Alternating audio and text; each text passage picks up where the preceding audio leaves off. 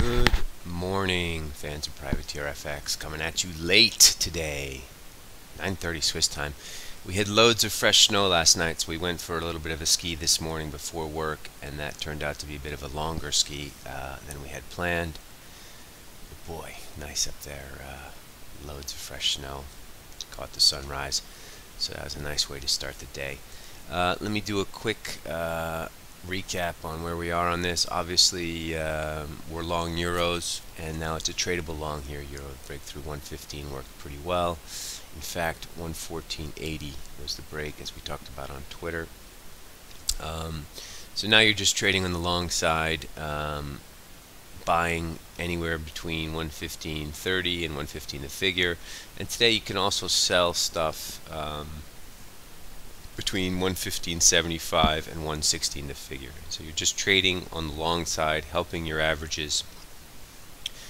Um, we took some money off the table, but we're core long, looking to get better averages and safer, and we're looking for a, for basically a move up to um, 116.25 is the first uh, first resistance this is the 200 day up there at 116.35, but we do probably think this is going to go uh, back to 118. So we're trying to build safe longs so we can survive the chop.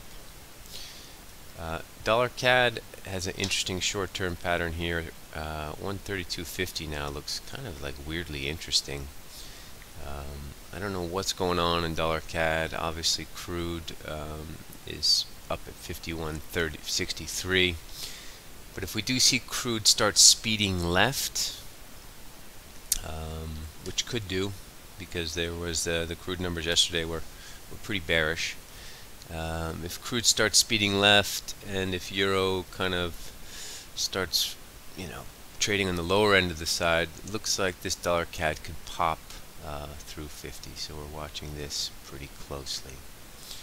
Elsewhere, uh, I'm going to resell these Bunds uh, up near this 164.40 level.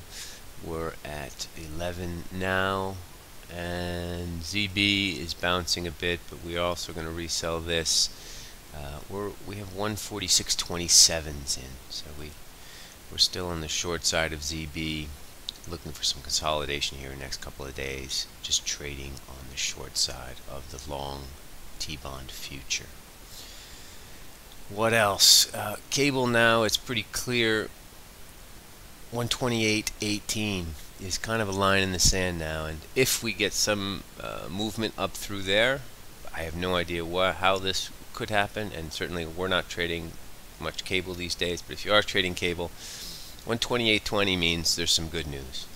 That good news could be anything, that Brexit is over, they're going to do another referendum, blah, blah, blah. Who knows what it could be. But technically speaking, 128.18 is important. Dollar yen's sell on rally. We pinged the highs yesterday. That was nice. Um, we're sell rally today. Uh, you don't want to get too involved here down in the low 10 uh, in the 107.90s. But any move up towards 108.30, uh, you want to sell today in dollar yen. All right, late start here. Uh, sorry for the delay on the video. I will uh, catch you guys up with more sort of minute to minute ideas on Twitter. Wish you much profits today, and I will speak to you tomorrow.